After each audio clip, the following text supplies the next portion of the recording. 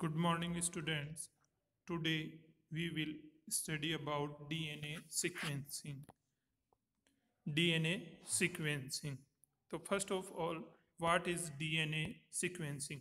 DNA sequencing क्या होती है तो तो डीएनए सीक्वेंसिंग क्या होती है कि it is a process of determining the order of nucleotide adenine thymine cytosine and guanine which are present in a DNA strand. We need to know the order of nucleotide bases in a strand of DNA for sequencing. All the information required for the growth and development of an organism is encoded in the DNA of its genome.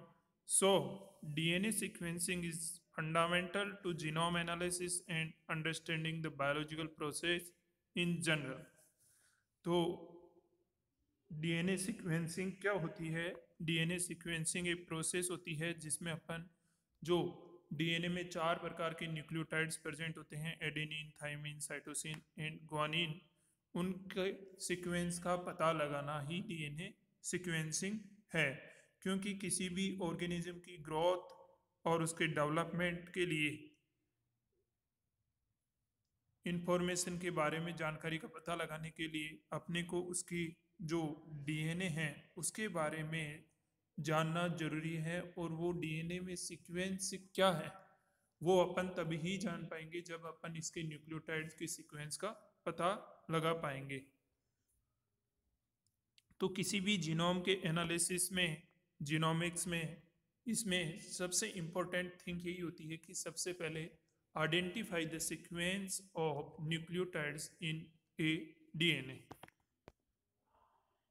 Upon historical अगर timeline देखें तो DNA के बारे में कि DNA sequencing और DNA को genetic material और इसको सबसे पहले डीएनए को एज ए जेनेटिक मटेरियल किसने बताया था डीएनए क्या होता है, इसके बारे में किसने पता लगाया था तो सबसे पहले 1870 में 1870 में फ्रेडरिक मिस्सर नाम के एक साइंटिस्ट थे जिसने फ़र्स्ट सेल्स के, फ़र्स्ट सेल से एक पदार्थ है, वो एक्सक्रेट किया था और उसको न्यूक्लिन नाम दिया था, जिसको बाद में है, वो फ्रेडरिक मिस्सर ने डीएनए बताया था।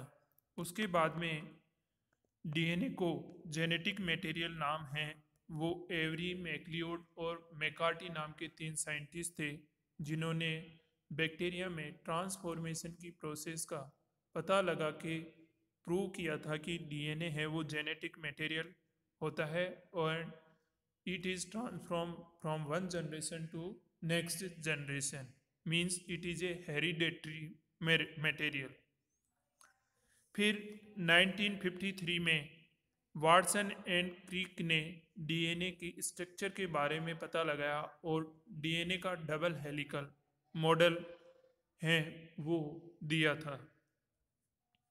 उसके बाद में 1970 में एक वो साइंटिस्ट थे जिन्होंने जो लेमड़ा फ़ेज़ डीएनए होता है उसके कोहेसिव एंड की सीक्वेंस के बारे में पता लगाया था। फिर 1977 और 1977 में सेंगर, जिस, जो कि फ्रेडरिक सेंगर, जिन्होंने डाइडियोक्सी चैन टर्मिनेशन मेथड, जो कि डीएनए सीक्वेंसिंग की एक मेथड है, उसके बारे में बताया, जिसमें अपन कोई पर्टिकुलर या आर्टिफिशियली अपन इंट्रोड्यू, वो डिज़ाइन करके अपन ऐसे प्राइमर डालते हैं D D N T P जो डीएनए में जाकर के प्राइमरी वहाँ पे अनिल होंगे तो उस पर्टिकुलर लोकेशन पे, उनकी थर्ड पोजीशन पे ओ ग्रुप एबसेंट होने की वजह से डीएनए का आगे सिंथेसिस नहीं होगा और चेन टर्मिनेट हो जाएगी। सेकेंड डीएनए सीक्वेंसिंग मेथड है, वो भी 1977 में डिस्कवर किया गया था और उसकी खोज की थी मैग्जम गिलबर्ट नाम के साइंटिस्ट ने, जिसको कि केमिकल डिग्रेडेशन मेथड भी कहा जाता है। इसमें भी अपन कोई स्पेसिफिकली जैसे पाइप्रिडीन है हाइड्रोजीन है, ऐसे अपन केमिकल्स यूज़ करते हैं जो डीएनए में स्पेसिफिक बेसिस को मॉडिफाई कर देते हैं और फिर बाद में अपन उनका सीक्वेंस का पता लगा देते हैं। फिर उसके बाद में 1986 में आपका जो पार्शियल ऑटोमेशन एक मेथड है डीएनए सीक्वेंसिंग का, उस मेथड का है, वो डेवलपमेंट हुआ।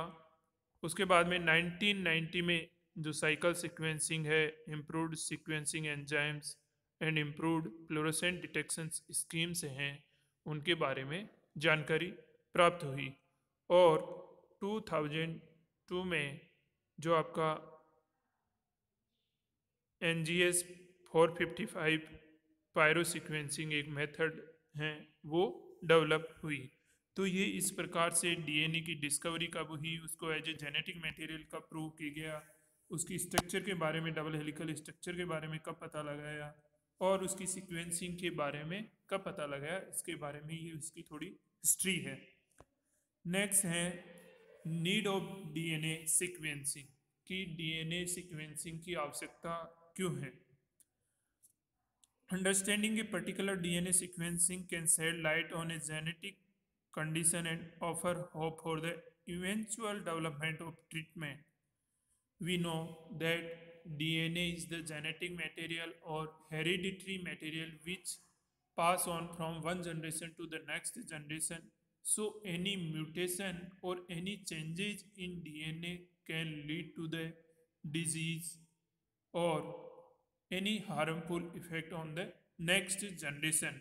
So an alteration in a DNA sequence can lead to an altered or non-functional protein and hence to a harmful effect in a plant or animal.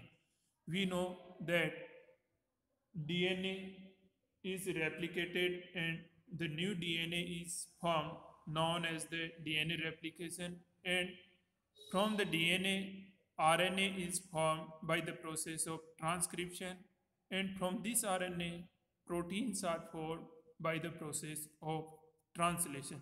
So if any changes occur in the DNA, then it will be passed on in the protein and protein will be formed in the altered form. So any changes can lead to the effect on a protein and which lead to the harmful effect of a growth of plant or any animal. Simple point mutation can cause altered protein shape and function. कोई भी अगर एक छोटा सा भी point mutation हो जाएगा तो उसकी वजह से जो आपका प्रोटीन है, उसकी सेफ़ और फ़ंक्शन में क्या आ जाएगा बदलाव आ जाएगा, उसकी प्रॉपर्टी चेंज हो जाएगी आप इसमें देखिए, जैसे एक कोडोन है कोई भी आपका एमिनो एसिड है वो, एक एमिनो एसिड है वो तीन कोडोन के द्वारा कोड किया जाता है, जैसे कि आपका एलेनिन है एलेनिन है, वो जी सी ए के द्वारा कोड किया जाता है। आपका आर्जिनिन है, वो एडेनिन, ग्वानिन और एडेनिन, ये तीनों मिलकर के आर्जिनिन को कोड करते हैं। जी ए टी आपका एस्पार्टेट को कोड करता है ए ए टी आपके आस्परजिनिन को कोड करता है, और टी जी टी आपके सिस्टीन को कोड करता है। लेकिन मान लीजिए कि इनमें, जैसे कि आप सेकंड में देखिए कि जैसे जी सी, जी। जी सी, जी। यहाँ पे एडिनिन के स्थान पे गुआनिन आ गया। तो यहाँ पे हार्मफुल इफ़ेक्ट नहीं है क्योंकि ये सेम उसी पर्टिकुलर एमिनो एसिड को कोड कर रहा है। और सेकंड में भी ए जी है, यहाँ पे कोई म्यूटेशन नहीं हुआ। थर्ड में भी आपका एस्पार्टिट है और फोर्थ में भी आपका एस्पर्जिनिन है और उसमें भी कोई नहीं। मतलब अगर उसी सेम फैमिली के अगर कोडोन में कि जो उसी ल्यूसिन को या जैसे एलेनिन को कोड कर रहा है तो कोई इतना ज़्यादा हार्मफुल इफ़ेक्ट नहीं होगा।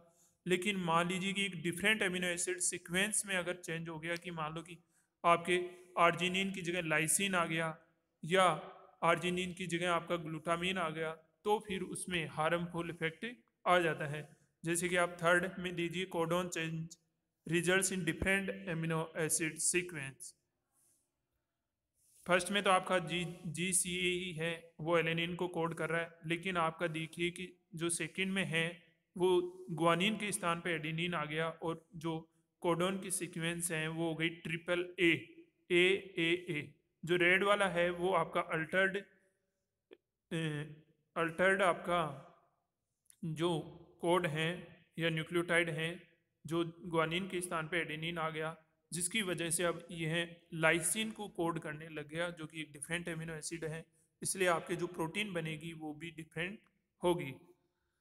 थर्ड में आपका कोई चेंज नहीं है ग्वानिन एडेनिन थाइमिन है इसलिए एस्पार्टेट को कोड कर रहे हैं। फोर्थ में भी आपका ए ए टी है, वो आस्परजेनिन को कोड कर रहे हैं। और फिफ्थ में भी आपका टी है, इसलिए कोई। अब इसका कहने का मतलब ये है कि एक अगर आपके न्यूक्लियोटाइड में भी अगर पॉइंट म्यूटेशन हो गया तो उसकी वजह से आपके प्रोटीन में चेंज आएगा। इसलिए अपने को सिक्वेंसिंग की आवश्यकता होती है कि किसी भी अगर एक पर्टिकुलर अपने को सीक्वेंस पता होगी कि यह पर्टिकुलर जो न्यूक्लियोटाइड की सीक्वेंस है और ये वाला न्यूक्लियोटाइड है, वो इस एमिनो एसिड को कोड करता है और ये एमिनो एसिड इस प्रोटीन को बनाता है। तो अगर उसमें चेंज हो जाएगा अपने को सीक्वेंस पता होगी तो अगर मान लो कि उसमें म्यूटेशन हो गया तो अपन उसमें जेनेटिक इंजीनियरिंग के द्वारा अपन वहाँ पे सही एमिनो एसिड हैं, वो वापस प्रतिस्थापित कर देंगे और उसकी वजह से उसका जो अपना अल्टर्ड प्रोटीन है, उसकी स्ट्रक्चर में वापस नॉर्मल फंक्शनल प्रोटीन बन जाएगा। इसलिए अपने को डीएनए सीक्वेंसिंग की आवश्यकता होती है। नेक्स्ट है सीक्वेंसिंग के कौन कौन से मेथड है डीएनए सीक्वेंसिंग के।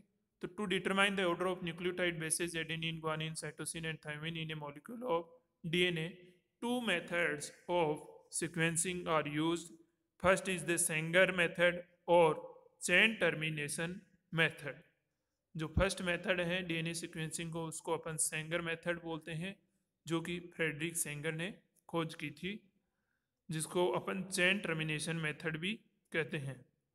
सेकंड मेथड है, जिसको अपन केमिकल सीक्वेंसिंग मेथड या मैग्जम गिलबर्ट मेथड कहते हैं। ये दो मेथड हैं मेनली डीएनए सीक्वेंसिंग की, जो पॉपुलर हैं।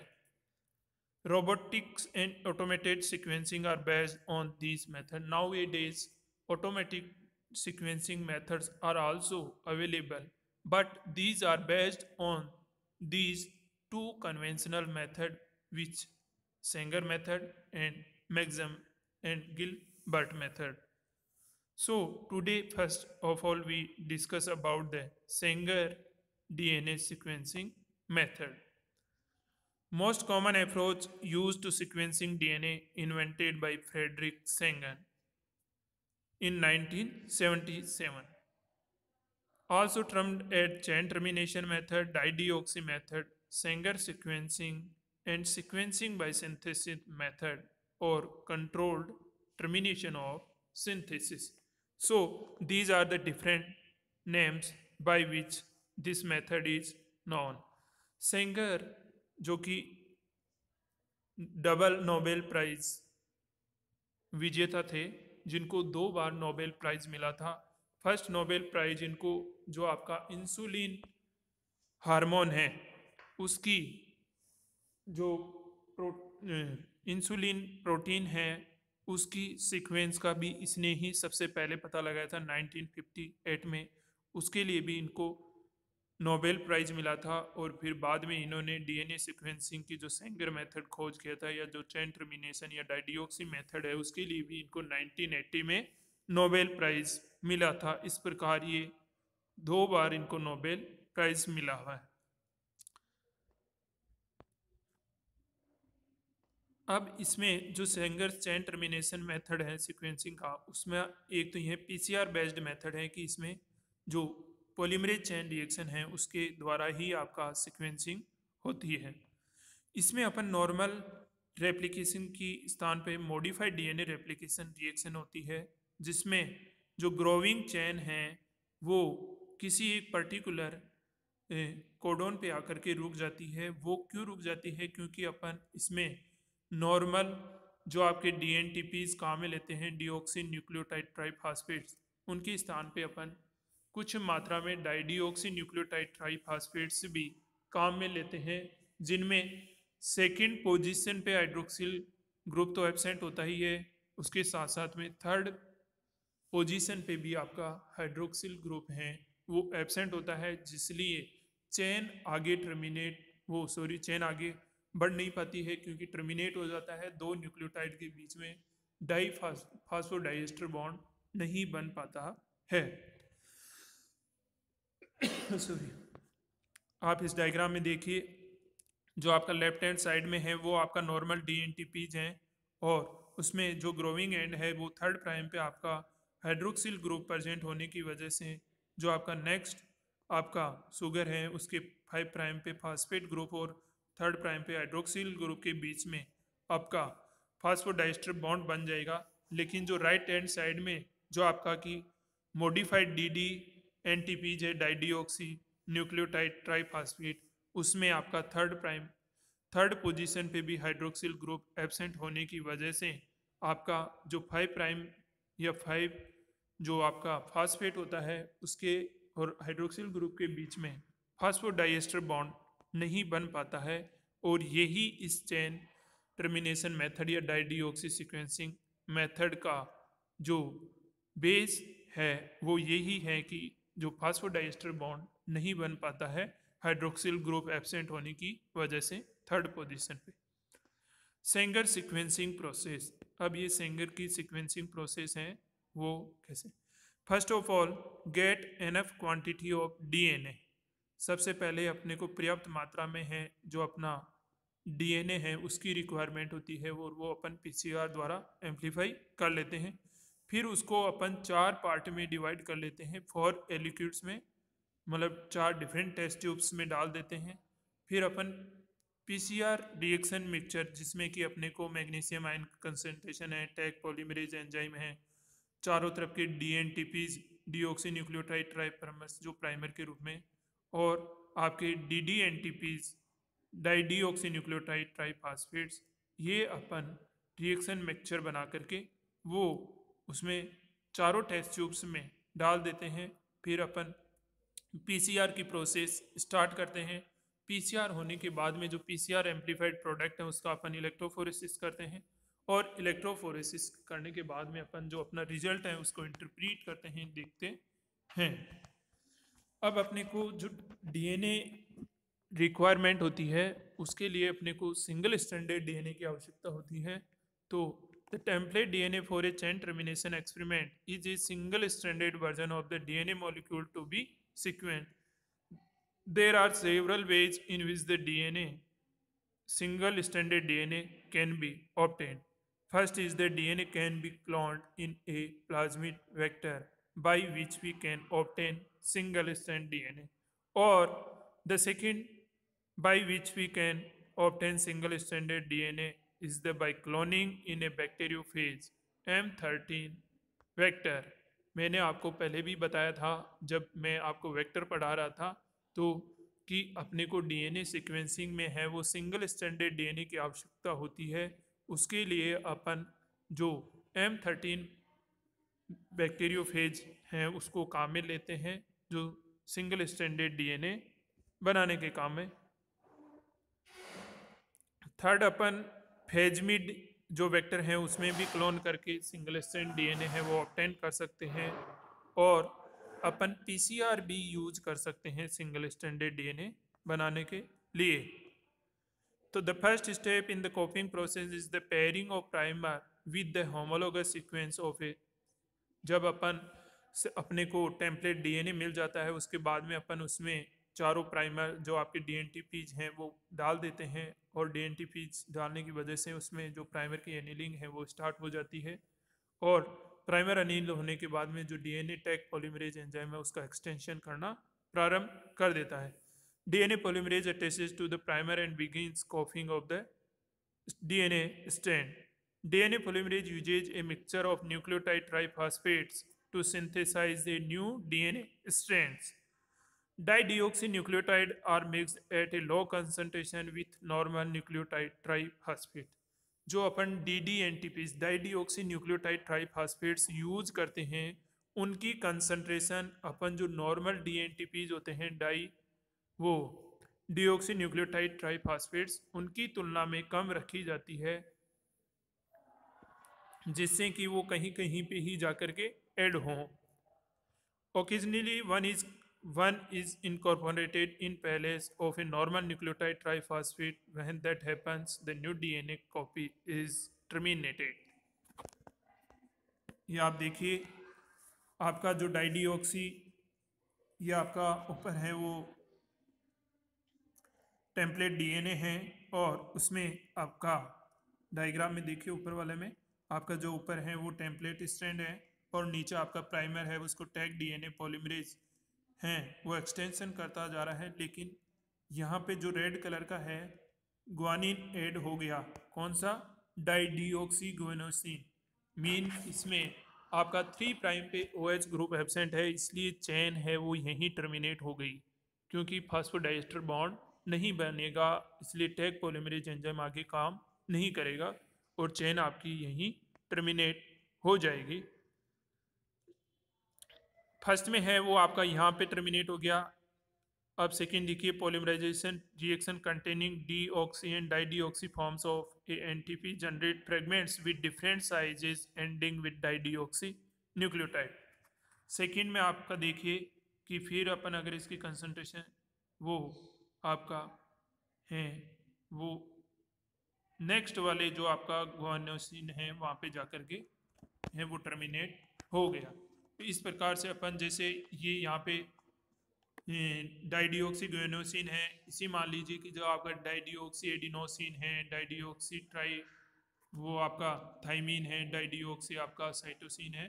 ऐसे सभी में चारों टाइप्स जो में डिफरेंट डिफरेंट जगह जाकर के डाइडियोक्सी न्यूक्लियोटाइड्स आपके बाइंड होंगे तो चेन वहाँ से टर्मिनेट हो जाएगी। ये देखिए आपका। Fragment generated due to the dideoxy guanosine triphosphate termination reaction containing G at the three prime end जो आपका फ़र्स्ट वाला है, उसमें यहाँ पे जाकर के आपका टर्मिनेट हो गया। सेकेंड वाले में यहाँ पे जाके जो आपका है, उस पर टर्मिनेट हो गया। तो इन तीनों की आप साइज़ देखिए, इनकी डिफरेंट डिफरेंट साइज़ हैं। इसी प्रकार नीचे वाले में देखिए fragment generated due to the dideoxycytosine triphosphate termination इसमें भी आपके देखिए कि जो अलग अलग जगह पे हैं आपका साइटोसिन वाले पे, जो कि ग्वानिन का कॉम्प्लीमेंट्री साइटोसिन होता है, क्योंकि ग्वानिन हमेशा साइटोसिन के साथ में बॉन्ड बनाता है ट्रिपल बॉन्ड और जबकि जो आपका एडिनिन है वो थाइमिन के साथ में डबल बॉन्ड बनाता है। इस प्रकार से ये अलग अलग साइज़ के बैंड बनेंगे। इसी प्रकार आपका जो डाइडियोक्सी एडिनोसिन ट्राइफॉस्फेट है, उसका टर्मिनेशन भी आप देख लीजिए। यहाँ पे फ़र्स्ट में यहाँ हो गया, फिर सेकंड में यहाँ पे हो गया थर्ड में। मतलब ये रेंडम प्रोसेस होती है, जहाँ अपन अगर इसकी ज़्यादा कंसनट्रेशन डालेंगे या कम डालेंगे उसके ऊपर अलग अलग साइज़ के अपने को चैन फ्रेगमेंट्स मिल जाएँगे। इसी प्रकार आपका जो थाइमिडीन ट्राइफॉस्फेट है डाइडियोक्सी उसमें भी अलग अलग साइज़ के ये फ्रेगमेंट्स मिलेंगे। अब अपन जब इनको जेल इलेक्ट्रोफोरेसिस करेंगे तो ये अपने साइज़ के अकॉर्डिंग क्या होंगे? सेपरेट आउट होंगे। और फिर अपन उसकी क्या कर लेंगे? सिक्वेंसिंग कर लेंगे। आप देखिए इसमें, when the resulted fragments are electrophoresis on a gel, they will separate by the size. जो आपके सबसे छोटी साइज़ का फ्रेगमेंट होगा, वो सबसे ज़्यादा मूवमेंट करेगा। क्यों? क्योंकि उसमें पोर साइज़ के ऊपर डिपेंड होता है। जिसकी साइज़ छोटी होगी, वो सबसे ज़्यादा मूव करेगा और लार्जर साइज़ का जेल की पोर साइज़ छोटी होने के कारण वो कम मूवमेंट करेगा। तो जो सबसे छोटा फ्रेगमेंट होगा कि वो सबसे नीचे। इसलिए अपन चारों टेस्ट ट्यूब्स में अलग अलग ये बैंड्स होंगे, उनका पता लगा लेंगे, जो टी के सिद्ध में होगा उसका टी काउंट कर लेंगे ए वाली में ए को कर लेंगे जी वाले में जी को और सी वाले में सी को। फिर अपन इसको रीड करना करेंगे नीचे से, जो डायरेक्शन दी हुई है, आप देखिए इसमें। सबसे पहले आपका एडिनिन है, फिर थाइमिन है फिर थाइमिन है, फिर आपका एडिनिन आ गया, फिर एडिनिन आ गया, फिर वापस आपका थाइमिन आ गया, फिर थाइमिन आ गया, और फिर आपका एडिनिन आ गया। ऐसे अपन इसको सीक्वेंस को देख लेंगे। फिर जो ये सीक्वेंस प्राप्त होगी, उसकी कॉम्प्लीमेंट्री क्योंकि ये हमेशा, क्योंकि अपन ने जो ओरिजिनल स्टैंड लिया था, उसका ये प्राइमर वाली कॉपी है। जो प्राइमर आपका complementary strand new strand synthesis करवाया है, उसकी ये सीक्वेंस है। तो जो ओरिजिनल फ्रेगमेंट होगा, उसकी सीक्वेंस है, वो इसकी कॉम्प्लीमेंट्री होगी। और इसको हमेशा अपन डाउन टू अपवर्ड काउंट करना स्टार्ट करेंगे। ध्यान रखना, क्योंकि जो ये आपका डीएनए सिंथेसिस है, वो हमेशा five prime to three prime में होता है। इसलिए ये इधर फाइव प्राइम और ये थ्री प्राइम और जबकि आपका जो ओरिजिनल स्टैंड होगा, उसमें आपकी डायरेक्शन होगी three prime to five prime इसको देख करके अपन सीक्वेंस का पता लगा लेंगे। ये देखिए आप the sequence that is read from the sequencing gel is the reverse complement of the template strand because of the complementary base pairing and anti parallel nature of the double helix क्योंकि जो sequence synthesize हो रही है, वो अपने template DNA strand जो काम में लिया था, उसकी कॉम्प्लीमेंट्री होती है और एंटी पैरेलल होती है। इसलिए thus the best base added to the newly synthesized corresponding to the shortest fragment on the sequencing gel is complementary to the three prime portion of the template strand immediately adjacent to the site that the primer hybridize मैंने बताया था क्योंकि जो आपका D N A synthesis है, हमेशा five to three prime होगा, इसलिए जो आपके न्यू प्राइमर बनेगा, वो फाइव प्राइम तो नीचे रहेगा और ऊपर आपकी थ्री और उसका रिवर्स कॉम्प्लीमेंट होगा, जो कि three to five prime direction में होगा, वहाँ से आपका जो टेम्पले टेम्पलेट है, उसकी कॉपी होगी।